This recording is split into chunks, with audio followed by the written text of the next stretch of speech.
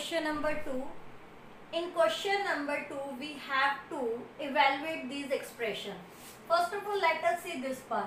This cube root means that whole raised to the power 1 by 3 and you know that a raised to the power m upon n is equal to a raised to the power m into n. That means these powers multiply themselves. So it will be equal to minus 13 1 by sorry 3 into 1 by 3. Cancel it. It will be minus 13. This is your answer. Now see this part. Here cube root is given and these numbers are cube of some number. See 3 cube is 27 and 8 is the cube of 2.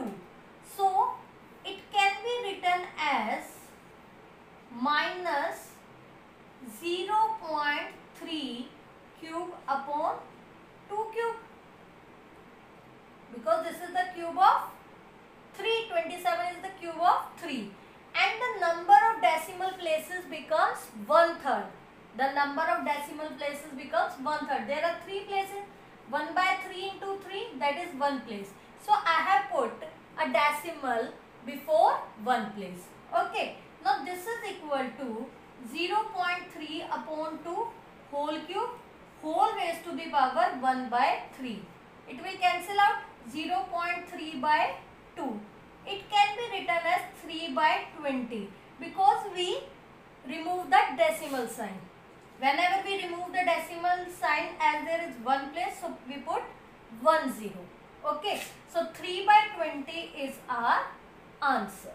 Now look at this problem. It is given cube root of 2744 and this is square root of 169 some students get confused and try to find the cube root of this number. See, you have to check this radical and radicand. What is given to you? It is square root, it is cube root. And 169 is the square of 13. And you have to check the cube root of it. If you are sure that it is a perfect cube, you can directly use ones and tens method. Let me try. This is 4 is the last digit so here 4 will come 2. 2 is greater than the cube of 1. So here 14 will come. And minus. It is the square of 13. 14 minus 13. 1 is your answer. Okay. This is the easiest way. But you can apply this only when you are sure that it is a perfect cube. So it is better to check whether it is a perfect cube using using prime factorization. 1372 again by 2 343 is the cube of 7 you know very well. See we get 2 sevens are 14 is the cube root of this given number. And this you know it is 13 you can write directly. Now we will check for this. It is 512 we know that 512 is cube of 8 and decimal places get one third. So it will be 0 0.8. Now the next number is 6.859. Most probably it will be a perfect square. Sorry, perfect cube. So perfect cube is there and it is ending with 9. So one's digit is 9. Make group of 3. 6 is left. 6 is greater than the cube of 1. So here 1.9 should come. And now multiply both the numbers. 8 9s are 72, 7 carry, 8 1s are 8 plus. 1.52 is your answer. But if you are not sure, you should use prime factorization. Now, as it is a cube of 19, it will go on 19 only.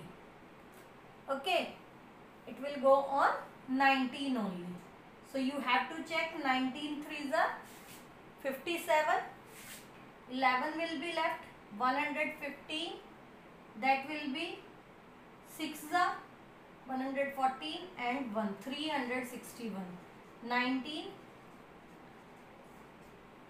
So prime factorization of this number is this you can use this method in another way that first of all you find the cube root using ones and tens method then you came to know that what will be the possible cube root and then you can do prime factorization that as I have done in this question because my calculation has become very easy using it.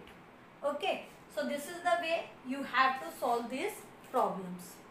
Rest of the problems you can try yourself.